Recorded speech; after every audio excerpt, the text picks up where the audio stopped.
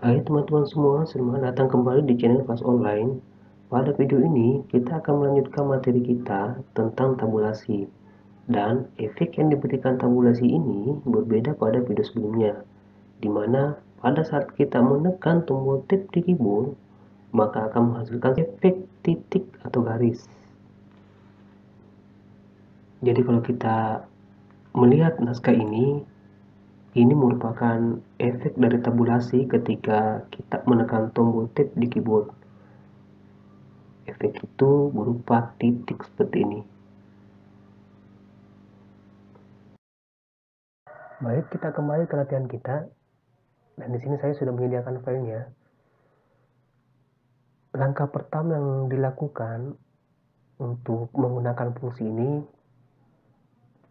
yang pertama adalah memblok ketiga baris ini Kemudian kita menentukan eh, pemberhentian titik tersebut.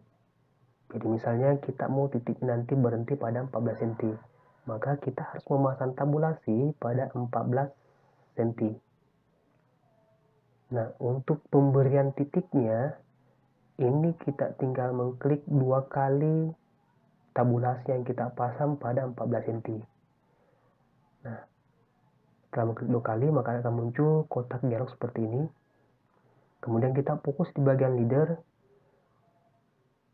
Pada bagian leader ini, ini menentukan jenis titik yang akan digunakan nanti pada saat kita menekan tombol tab. Nah, ada beberapa pilihan, ada dua, tiga, empat ya. Pada contoh kasus ini saya pilih dua untuk jenis titiknya, kemudian klik tombol OK. Oke, nah sekarang kita aktif di baris pertama, kemudian kita menekan tombol tab di keyboard maka otomatis titik itu akan terbentuk sampai di 14 cm. Hal yang sama kita lakukan pada baris kedua, tekan tombol tab. Baris ketiga, tekan tombol tab. Secara otomatis itu akan berhenti, berhenti pada 14 cm. Nah, dan jika kita, kalau kita ingin mensejajarkan titik 2, itu bisa kita pasang tabulasi pada 3 cm untuk mensejajarkan titik 2. Hal yang pertama dilakukan kita blok terlebih dahulu. Kemudian kita pasang tabulasi di 3 cm. Kemudian kita tekan tombol tab di keyboard. Terus kedua tekan tombol tab. Sekarang titik 2 ini berada di 3 cm atau sejajar pada 3 cm. Nah, jika kita ingin menentukan kapan titik itu mulai start pada saat kita menekan tombol tab di keyboard, nah ini bisa kita tentukan kapan titik itu bisa start. Ini bisa kita tentukan pada 3,5.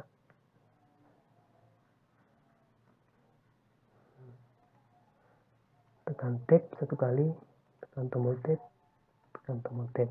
Nah, sekarang itu titiknya start pada 3,5 dan berhenti pada 14 cm. Dan jika ingin merubah pemberhentian titiknya, misalnya titiknya kita berhentikan pada 12 cm, nah, kita tinggal pasang tabulasi di 12 cm. Kemudian mengklik dua kali tabulasi pada 12 cm. Nah, yang harus diperhatikan pada tab stop position. Di sini terdapat daftar tabulasi yang dideklarasikan pada ruler. Ada 3 cm, 3,5, 12 cm dan 14 cm. Yang perlu diperhatikan di sini menentukan tab stop positionnya. Kapan titik itu akan diberhentikan? Apakah di 14 cm, 12, 3,5 atau 3 cm? Kalau misalnya 12, ini kita ambil 12. Kemudian bagian leader, ini kita ambil jenis titiknya, misalnya 2. Dan tekan tombol OK. Nah, secara otomatis titik itu akan berhenti pada 12 cm. Dan jika kalau saya tekan tombol tab satu kali, maka titik itu akan mengulang dan berhenti pada 14 cm. Jadi startnya di 12 dan berhenti pada 14 cm. Nah, jika ingin menghapus titik ini pada 14 cm, ini kita blok, klik dua kali, kemudian pilih 14 cm, kemudian ambil 0. kemudian oke okay. sekian video kali ini semoga bermanfaat